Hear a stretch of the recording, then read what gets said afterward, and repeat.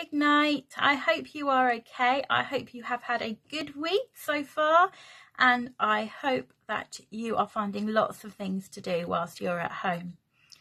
Today's story is about two men called Paul and Barnabas and their first journey that they went on to tell people the good news all about Jesus. Now, I'm going to tell this story in a little bit of a different way today. I really hope that you enjoy it. Let me know what you think and if you'd like me to do some more stories like this again. So here we go. Here's today's story. It's found in Acts chapter 14, if your adults would like to know. In Iconium, Paul and Barnabas went and spoke in the synagogue. They spoke so well that many more Jews and Greeks believed, but the ones who didn't believe said unkind things about them and tried to turn them against Paul and Barnabas. Paul and Barnabas spent a lot of time there and just kept telling the people about how great God is. There were still people plotting against them, and Paul and Barnabas went to Lystra and Derbe to tell people about Jesus there. In Lystra, there was a man who was lame, his legs didn't work, and he couldn't walk. The man listened to what Paul had to tell him about the Lord.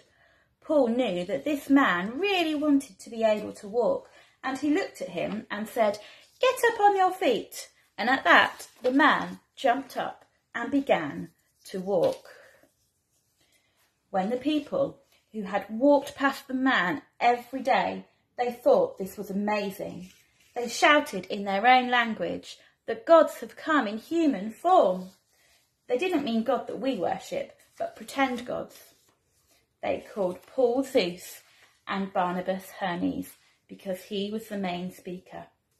People brought them bulls and wreaths to the city gates because they wanted to worship them and offer sacrifices to them.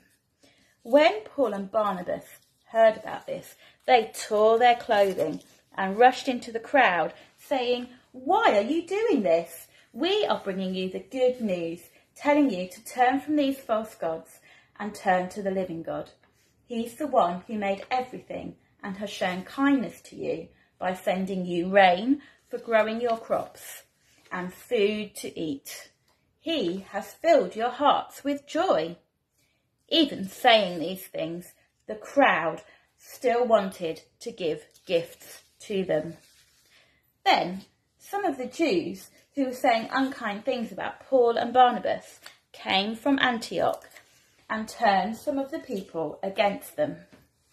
They threw rocks and stones at Paul and thought he was dead, so they dragged him outside the city gates.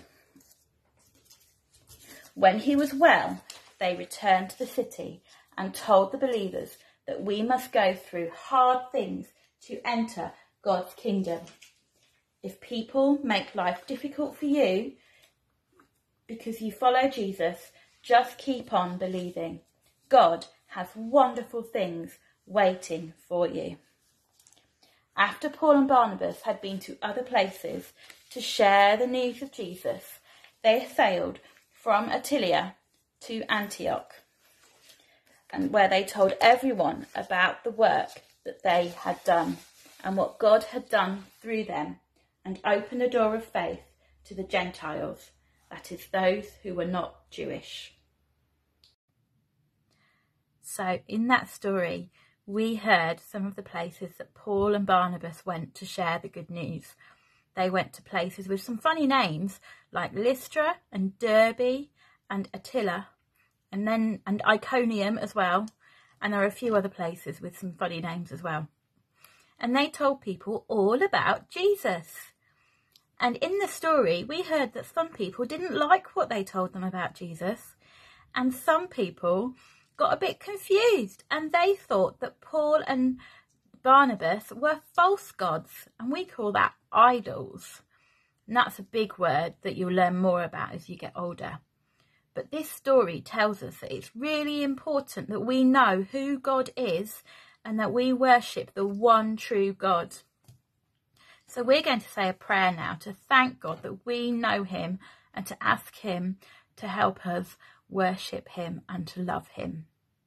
So we're going to close our eyes and say a prayer.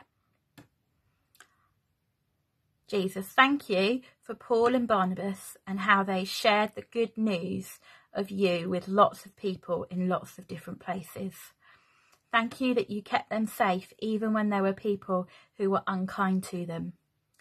And God, we pray that you will help us to just worship you and to follow you and not to follow anything else um, that we want to, might think is more important than you.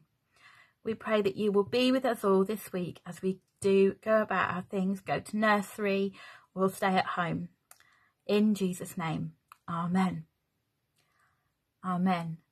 I hope you have a really good week, guys, and I will see you again next week. Bye.